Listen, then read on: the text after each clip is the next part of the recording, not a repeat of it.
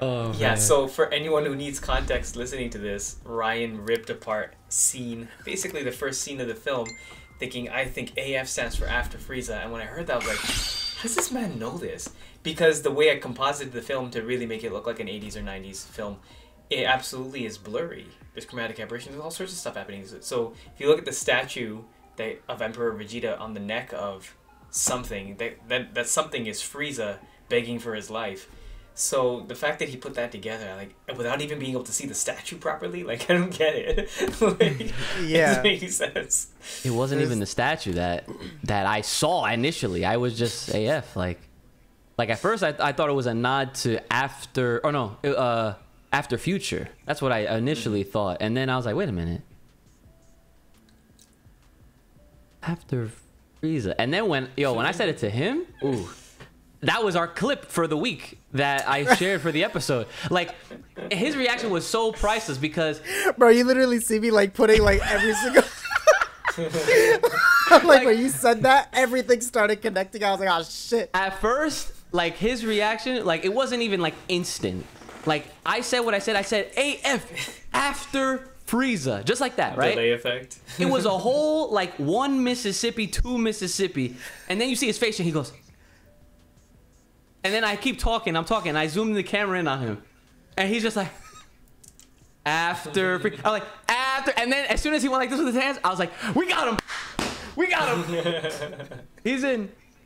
That that's definitely the time when I was in. Because after I heard that, I was like, nah, I clearly missed way too much. I need to run this back a lot of times, and I did.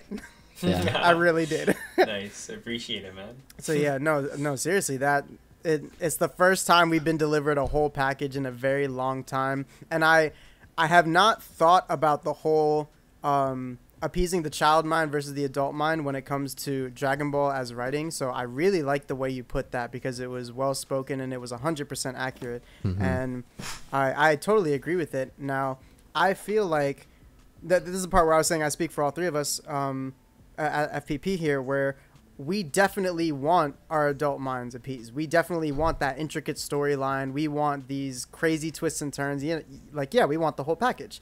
Now, Yeah. Dragon Ball, I don't even. It's an empty box right now. Like that, I don't even know if that. like Super, Super's been dropping the Dragon Ball. Okay, Like, All seven of them. all seven of them.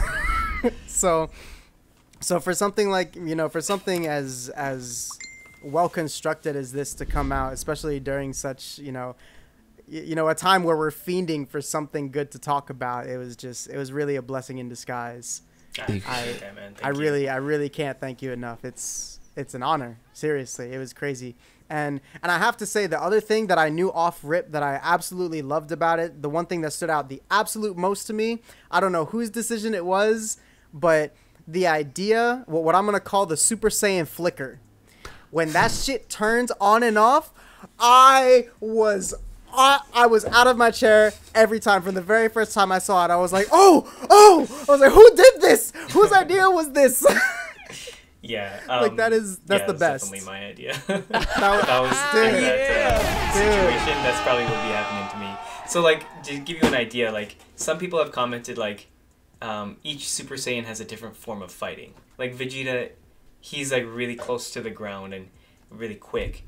Uh, Goku is much more like feral and wild, and Broly is three hundred pounds heavier than everyone. You know what I mean? So the way I see it is like Vegeta's only mission is to not get touched by Broly. It's like a glass cannon. Like if he touches him, he's dead. And he does touch him only once, and he breaks all his ribs.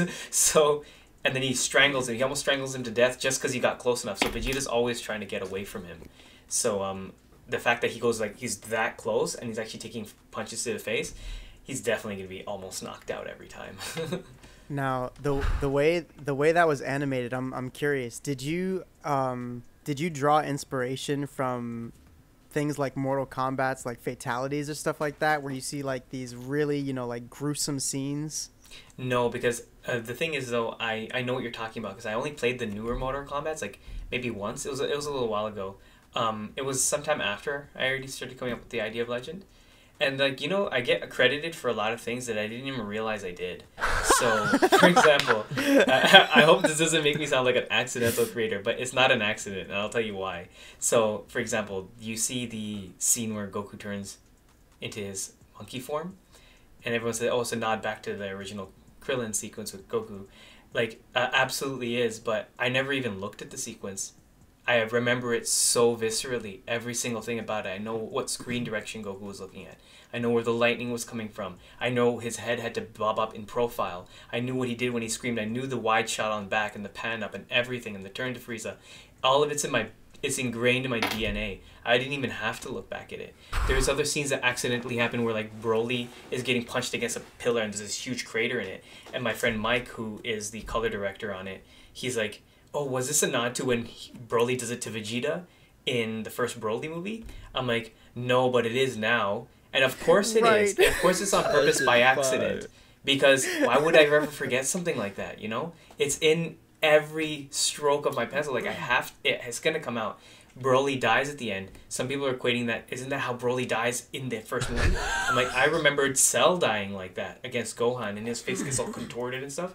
That was my inspiration. But I never even looked at the scene, and I should have. Like, there's no reason why I shouldn't have. I should have looked at it for the color design. I should have looked at it for like how they're animating, how long they held this. And I didn't do a single one of those things because it's just ingrained in my mind so heavily. Um, Wow. but yeah, this is this is how like this is the effect that good animation has on people. That that scene where Vegeta leaves right at the beginning, he he, bla- he brushes his cape back. Someone long time ago, I remember laughing so hard when I read this comment.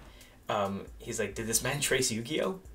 And I'm like, "Cause that's how Atem I thought that too. I thought episode, that too. right?" When I, the first time I watched that, I thought it was a nod to Atem. And it wasn't, but of course it was. That was my But of course favorite it scene in all of Yu-Gi-Oh. How could that not make it into my work? But I didn't even look at the scene. I didn't look how it was Oh, timed. I didn't look how it was fielded. I didn't look at any of that. And it'll it'll it'll show in the work. I did look up one single thing. It was the reference to the Budokai tournament where Chi-Chi's like, "You said you were gonna marry me." So like I'm like, oh, I want to make that. That's how I'm gonna start this movie. I'm like, I'm gonna make that scene, and it's gonna be revolving around that. But I didn't even look at how the scene was choreographed. I mean, I, I looked at it to to watch the scene, but I didn't study it. I didn't like find the shot choices. I didn't do anything. I just I like what it sounded like. I like what was happening, and I'm like, okay, just go figure it out yourself. So um, yeah, I'll get credited for a lot of references that are by total accident, but they're not really accidents because that's what the effect of these these movies have on you. I've been watching them since I was in grade three. You know what I mean? Dude, that is so. That's awesome. Just to hear that. Oh my god.